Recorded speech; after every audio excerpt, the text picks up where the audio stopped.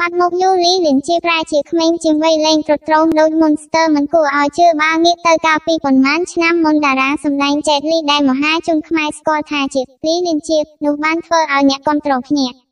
អើជាខ្លាំងក្រោយរូបភាពមួយសន្លឹករបស់លោកបង្ហាញឲ្យឃើញពីភាពចាស់ត្រត្រងស្បែកជ្រីវជ្រួញប្រៀបបីដូចជាបុរសវ័យចំណាស់80ឆ្នាំ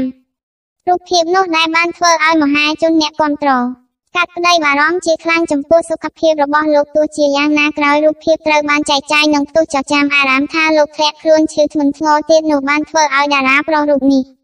ចេញមកមកបញ្ជាក់ជាសាធារណៈថារូបលោកគឺមានសុខភាពល្អធម្មតានោះទេមិនដល់ថ្នាក់ត្រូវអង្គុយរទេះរុញឬត្រូវគេគ្រៀតដើរទៅណាមកណាដោយចចាមអារម្មណ៍នោះឡើយដោយរូបភាពដែលថតបាននោះគឺ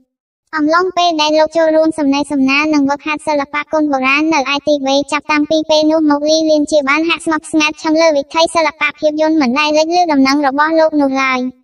រហូតមកដល់ថ្ងៃទី28ខែកក្កដាឆ្នាំ2022កន្លងទៅនេះតារាប្រុសវ័យ59ឆ្នាំរូបនេះស្រាប់តែធ្វើឲ្យអ្នកគ្រប់គ្រងភ្ញាក់ផ្អើលជាថ្មី។ ក្រោយរូបលោកបានធ្វើការបង្ហោះរូបភាពប៉ុន្មានសន្លឹកលើគណនី Instagram ផ្ទាល់ខ្លួនរូបភាពទាំងនោះដែរគឺជារូបភាពរបស់លោកនិងកូនស្រីពៅចាដាដែលបានធ្វើដំណើរកំសាន្តទៅសាធារណរដ្ឋឆេកជាមួយគ្នា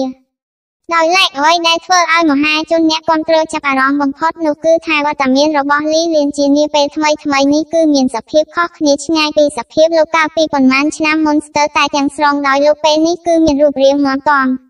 ក្មេងជាងវ័យប្រៀបដូចស្ថិតក្នុងវ័យជាង30ឆ្នាំធ្វើឲ្យអ្នកគ្រប់គ្រងភ្ញាក់ផ្អើលខ្លាំងបំផុតសូមអរគុណរាល់ការតាមដាន។